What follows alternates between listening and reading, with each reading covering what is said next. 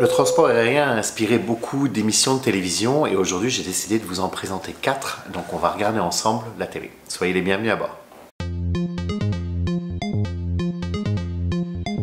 Avant de commencer, je voulais remercier tous ceux d'entre vous qui ont déjà participé au sondage. Si vous ne l'avez pas vu, il y a deux semaines, j'ai posté une vidéo euh, pour fêter en fait les 7000 abonnés sur ma chaîne YouTube. Et puis, ben, je vous proposais de participer à un petit sondage pour me dire un petit peu quelles sont les choses que vous attendez de la chaîne pour que je puisse euh, vraiment adapter mon contenu par rapport à, vos attentes. Et puis, euh, en même temps, je vous récompense en vous offrant accès à une vidéo qui pour l'instant est cachée, elle est secrète. Et puis, vous pouvez également gagner des exemplaires du livre que j'ai écrit ou des étiquettes bagages. Donc, si vous n'avez pas vu cette vidéo, si vous n'avez pas encore participé au sondage, vous avez jusqu'au 14 juillet pour participer au concours, euh, à simplement aller regarder la vidéo. Je l'avais postée il y a deux semaines, je vais vous mettre également le lien dans la barre d'infos et je remercie tous ceux qui ont déjà mis leurs commentaires, il y en a déjà beaucoup et c'est très intéressant de voir ce que vous attendez de moi. Et puis, ben, si c'est la première fois que vous arrivez sur ma chaîne, soyez les bienvenus. Mon nom est Victor, je suis chef de cabine pour une compagnie aérienne. Euh, je vole essentiellement au sud du Pacifique. Donc, si vous êtes en Europe ou en Amérique du Nord, il y a peu de chances à ce qu'on se croise dans un avion. Mais je suis sur YouTube toutes les semaines depuis euh, quasiment 5 ans. Et euh, ben, on, parle de transport aérien. J'essaie de vous donner des conseils sur comment voyager dans les meilleures conditions, vous expliquer un petit peu quel est le métier d'hôtesse de l'air, de steward, d'agent de bord, de PNC. Tout ça, ça veut dire la même chose. Et puis, vous parler un petit peu des opérations aériennes. Aujourd'hui, je ne vais pas rentrer dans les détails des opérations aériennes. Il y a un mois ou deux, je pense, j'avais fait une vidéo et puis j'avais évoqué une série qui est sur Netflix qui s'appelle Into the Night, euh, qui se passe dans un Airbus 320. Et maintenant que je vole sur ce type d'avion, euh, je remarquais qu'il y avait plein de choses qui étaient incohérentes. Alors j'avais sondé, je vous avais demandé si c'est quelque chose qui vous intéressait. Et puis il y a plusieurs euh, d'entre vous qui m'avaient dit qu'ils oui, aimeraient que j'analyse un petit peu une série télé. Alors j'ai commencé à le faire et je peux vous dire que c'était, comme on dit en bon québécois, plate comme la pluie. C'était vraiment ennuyeux de trouver le petit détail de ce qui ne fonctionne pas et puis euh, de, faire cette liste. Et puis je me disais, je ne me vois vraiment pas présenter ça. Je pense que ça va être une vidéo qui va être très très ennuyeuse à regarder. Donc j'ai décidé de changer un peu le concept et je vais vous présenter quatre séries qui sont sur YouTube. Donc quel que soit l'endroit où vous êtes, même si vous n'avez pas accès à Netflix et puis le catalogue de Netflix varie d'un pays à l'autre, vous allez pouvoir les, regarder. Euh, et puis ben, vous allez voir qu'elles sont toutes autour du transport aérien. Donc ça pourrait vous intéresser. Alors je vais vous mettre les liens dans la barre d'infos, vous allez également voir ces séries à la fin de ma vidéo. Ce qu'il faut savoir c'est qu'elles sont sur YouTube. Euh, pour l'instant elles sont disponibles. Certaines d'entre elles, peut-être les, personnes qui les ont mis sur YouTube n'ont pas les droits de le faire, donc il est possible qu'elles soient retirées euh, dans le futur. Mais aujourd'hui, ces vidéos sont toutes disponibles sur YouTube. Euh, elles sont en anglais, je suis dans un pays anglophone. Puis si vous ne parlez pas beaucoup l'anglais, c'est l'occasion pour vous de développer vos connaissances de l'anglais du transport aérien. Donc je pense que ça devrait vous intéresser, puis c'est assez facile à suivre en général. La première série, et euh, je dirais c'est un peu la, plus coquine, euh, elle s'appelle Mile High. C'est vraiment une fiction. Mile High, c'est le club qui a été donné aux gens qui euh, vont avoir des relations sexuelles dans les toilettes d'un avion en altitude. mais c'est ce qui a inspiré un petit peu cette série, même si on ne parle pas vraiment de ça. Donc c'est une compagnie fictive britannique, une compagnie low cost, et ça se passe. Moi, j'ai découvert cette série, je pense, juste avant les débuts des années 2010. Donc, c'est ça existait en DVD, j'avais acheté les DVD, maintenant les DVD c'est quelque chose qu'on ne trouve plus vraiment. Euh, je ne pense pas qu'elle soit sur les réseaux Netflix et compagnie, j'ai pas réussi à retrouver ça. Puis en général c'est difficile de retrouver, c'était pas une série qui avait fait des millions de, vues, donc euh, excusez, le chat est encore agité. Euh, mais il y a quelques personnes qui ont mis des épisodes sur YouTube. Donc vous allez trouver, j'ai vu aujourd'hui la saison 2 était disponible sur YouTube. Donc à aujourd'hui, vous pouvez toujours la revoir. Et puis si vous avez manqué la saison 1, c'est pas un problème. Alors qu'est-ce que MyHal MyHal va vraiment parler de, cette petite compagnie, euh, de ses, équipages. En général, on va tourner autour d'une quinzaine d'agents de bord qui vont être toujours les mêmes, qui vont voyager parfois ensemble, parfois séparément. Et puis on va les suivre, on va suivre ce qu'ils font à bord, on va suivre ce qu'ils font en escale. Et je peux vous dire qu'ils ne suivent pas vraiment les réglementations de la compagnie par rapport à ce qu'on, l'attitude qu'on doit avoir en escale. Euh, il y a toujours des, des pots équipage, c'est quelque chose de très traditionnel dans, les compagnies aériennes, même si chez moi en fait ça fait un bout de temps qu'on n'a pas eu un pot équipage. Mais euh, là, ils font les paumes, mais ils les font à un autre niveau. Ils font vraiment la fête, ils ont tous beaucoup de rebuts, euh, ils se mettent dans un état où on n'est pas vraiment censé être avant de partir. ils vont coucher entre eux, ils vont coucher avec des passagers. Ils habitent ensemble, plusieurs d'entre eux partagent un appartement.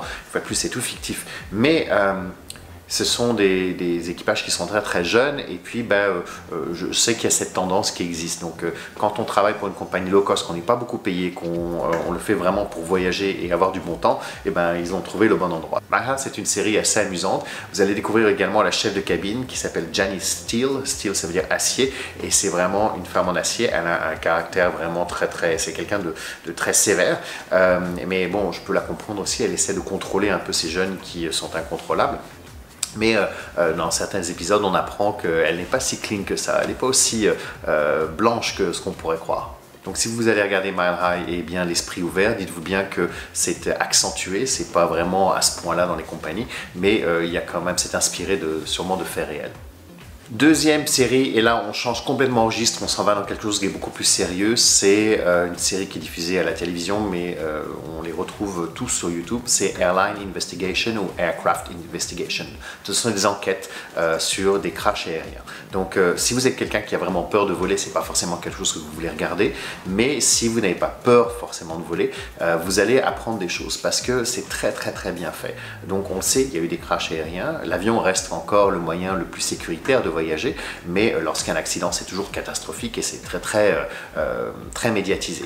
contrairement à un accident de voiture qui va être éventuellement médiatisé dans le journal du coin et puis le lendemain, déjà, on n'en parle quasiment plus.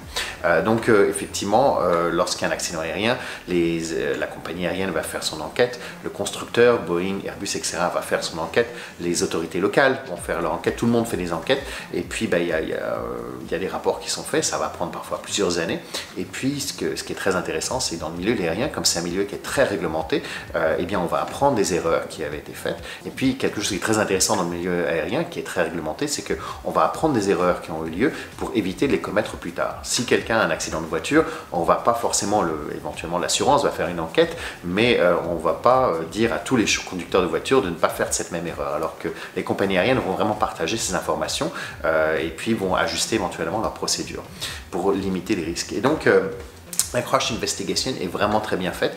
Il y a des entrevues des éventuels euh, survivants, il y a euh, des analyses de la boîte noire, des analyses de la cabine, des conditions qui ont eu lieu. Euh, donc lorsque l'enquête est vraiment terminée, ils vont expliquer exactement ce qui s'est passé. Et ce qu'on se rend compte, c'est que dans la plupart des cas, lorsqu'il y a un accident, c'est un facteur humain. Ce n'est pas forcément la machine qui est défectueuse. Je ne dis pas que les machines ne sont irréprochables. Il peut y avoir des problèmes. On en a vu avec les Boeing 737 MAX. Mais par contre, dans, de nombreux cas, ce qu'on rencontre, c'est que c'est mauvaise communication entre euh, le commandant, le premier officier, l'équipage, etc. Donc euh, tous ces facteurs sont mis en place. Et c'est fascinant à regarder, mais bon, effectivement, si vous êtes quelqu'un qui a vraiment peur de l'avion, c'est pas quelque chose qui va forcément, ça devrait vous rassurer parce que ça va vous montrer à quel point tout est réglementé et tout est bien analysé et qu'il y a des tas, tout tous les processus sont doublés ou triplés. Là, il n'y a pas un bouton pour une commande, il y a en général toujours un, système de backup, mais ben, je vous dirais que oui, ça peut être, euh, ça, commence toujours par euh, euh, comment s'est passé le crash, et puis ben, c'est pas quelque chose qui va forcément vous rassurer. Troisième série, on revient dans un côté un peu plus comique, mais euh, on n'est plus dans la fiction, on est dans la réalité. C'est une série qui s'appelle Airline Freakout. Alors, euh, euh, dans les débuts des années 2000, c'était l'arrivée de EasyJet, la compagnie low cost que vous avez un peu partout en Europe, la compagnie Orange. Et ben, à l'époque, ils étaient essentiellement au Royaume-Uni, puis ils avaient quelques destinations européennes. C'était tout nouveau, le concept de low cost n'existait pas. Et puis, ben, une chaîne britannique, une chaîne télévision britannique avait fait une série qui s'appelait Airline. Et donc, ils avaient filmé et on ne ferme pas forcément les équipages, il fermait plus euh, les agents au sol, donc les agents d'enregistrement, les agents des ventes. Et il y a un YouTuber qui s'appelle Arthur TV qui a repris euh, tous les épisodes et qui en a fait des compilations. En fait, il a repris les meilleurs moments. Il a pris les moments où les passagers vont commencer à péter un câble euh, et, vraiment, vraiment s'énerver et être parfois assez agressif. You give me my money. Finish. I've told you I can't do that. Can I just... Mais ce qui est très très intéressant, c'est de voir que ces passagers qui, dans la plupart des cas, euh, sont fautifs parce qu'ils arrivent en retard ou ils n'ont pas les bons documents, ils ont oublié leur passeport à la maison, et c'est toujours de mettre ça sur le dos de la compagnie aérienne. Oui, ils ont oublié leur passeport à la maison, mais c'est pas de leur faute, c'est à cause de la compagnie aérienne. Je ne peux pas rester. Le vol il est à 55, Oui, ils arrivent en retard pour l'enregistrement, mais c'est pas de leur faute. Il y avait des bouchons sur la route, mais maintenant ça devient le problème de la compagnie aérienne. Ben, euh, euh, et ils ne comprennent pas que oui, on voit l'avion à travers la vitre, l'avion est encore là, il part seulement dans 10 minutes, mais euh, c'est trop tard pour s'enregistrer. Et euh, je sais que le concept de, low cost était encore nouveau à l'époque, puisque on venait de compagnies plus classiques où on n'était pas trop regardant sur les dimensions des bagages et le poids des bagages, euh, et on arrive sur du low cost où euh, si ça dépasse d'un centimètre ou ça dépasse de 100 grammes, vous allez devoir payer, parce que c'est comme ça qu'elles font de l'argent. Donc c'était un ajustement, et maintenant on a vraiment l'habitude de voyager sur le low cost, on sait à quoi s'attendre, mais donc c'était quelque chose de nouveau, mais c'est vraiment intéressant de voir comment les gens essaient toujours de blâmer la compagnie sur tout, euh, alors que bien souvent c'est leur propre erreur. Et puis, petit bonus dans Airline Free quasiment dans presque tous les épisodes, vous avez un passager francophone qui va faire un drame. Et euh, c'est- ça arrive régulièrement et c'est assez amusant. This is the problem. The cat now has to go into quarantine. Non. Look at this! I'm a big terrorist with my cat! That's ridiculous! Terrorism has got nothing to do That's grotesque! Donc euh, une bonne émission, euh, une bonne série à regarder. Là, elles sont toutes sur YouTube. Euh, une fois de plus, je ne peux pas partager vraiment beaucoup de longs extraits, simplement sinon je vais me faire taper sur les doigts par YouTube. Et dernière série que je vais vous présenter qui se passe également dans l'aéroport, c'est Border Patrol. Alors Border Patrol, ça va plus parler de tout ce qui passe au niveau des douanes et surtout de, tout ce qui est importation. Euh, c'est filmé essentiellement, il y a eu plusieurs séries qui ont été faites. On les trouve beaucoup au Royaume-Uni, on va les trouver en Australie, en Nouvelle-Zélande, euh, et simplement parce que ces pays sont entourés d'eau et donc ben, ils ont des, des- des restrictions qui sont très importantes par rapport à ce qu'on peut importer, notamment tout ce qui va toucher à la faune et la flore, parce qu'ils veulent protéger leur écosystème. Étant quelqu'un qui voyage très souvent sur l'Australie, je peux vous dire que si il me reste des noix de cajou dans mon, euh, mon, mon lunch, mon repas, euh, et que j'oublie de les amener, ben, je vais devoir payer 400 dollars si jamais c'est détecté soit rayon X, soit par le chien, détecteur. Donc euh, il y a des règles qui sont très très strictes et on vous demande de bien déclarer si vous apportez à manger, si vous apportez euh, du bois. Euh, Il y, a- plein plein plein de, règles et euh, le, questionnaire est très clair. Et évidemment, il y a les gens qui déclarent que non, non, je n'ai rien à manger et lorsqu'ils passent au rayon X ou lorsque le chien détecteur trouve quelque chose ou s'ils attraper euh, par hasard et inspecter par hasard, on ouvre la valise et on va trouver des salades, on va trouver des pieds de poulet, on va trouver des tas de choses. Et c'est toujours une surprise, c'est jamais eux qui les ont mis dans la valise ou ils ont oublié. Euh, donc, euh, euh, non seulement il y a de la mauvaise foi, mais il y a aussi un petit peu de trafic. On va trouver des gens qui vont ramener des grosses quantités de cigarettes, qui vont essayer de les importer légalement pour les revendre à l'arrivée et puis éventuellement que ça paye leur voyage. Donc, c'est assez intéressant de voir aussi le côté humain, le, côté procédurier qu'ont ces pays, mais également le côté humain avec les, les gens qui vont mentir, les gens qui étaient des mules, qui allaient transporter la drogue, qui l'avaient mis dans leur postérieur et puis qui sont très surpris, n'étaient pas au courant qu'il y avait ce genre de choses.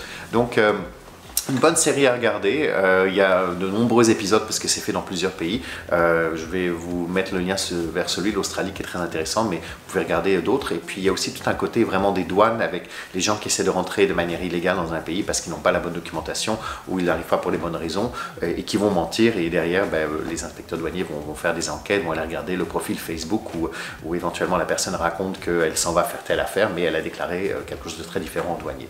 Donc du bon temps à passer à regarder et euh, c'est vraiment quelque chose d'intéressant. Et ça fait le tour des quatre séries que je voulais vous proposer. Si vous en avez d'autres, surtout n'hésitez pas à partager, parta- partagez-les dans les commentaires. Euh, si en plus elles sont en français, c'est toujours un bonus. Je suis désolé d'avoir euh, partagé que des produits anglophones, mais je pense que c'est toujours un petit, un petit plus aussi de pouvoir élargir votre vocabulaire dans une autre langue. Et puis, ben, sinon, on se retrouve la semaine prochaine et pendant la semaine sur Instagram. Passez une bonne semaine. Salut Thank you.